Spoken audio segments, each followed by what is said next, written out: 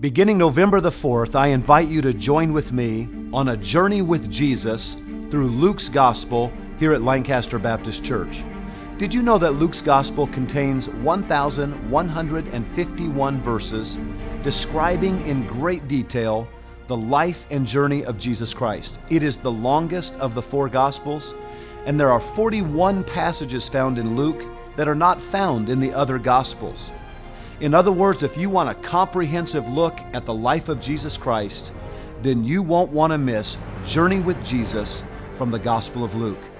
If you want to know more about how Jesus began his earthly ministry, if you want to understand the context of the Holy Land during the first century, if you want to know more about the miracles of Jesus and the teachings of Jesus Christ, not a church, not some man, but from the Lord Jesus himself, you don't want to miss this series, Journey with Jesus, here at Lancaster Baptist.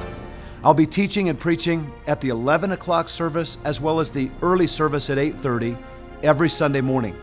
There will be a website that will support your study. We'll have handouts and questions provided at lancasterbaptist.org every week following the morning service. It will be the most technologically interactive study we have ever undertaken here at Lancaster Baptist.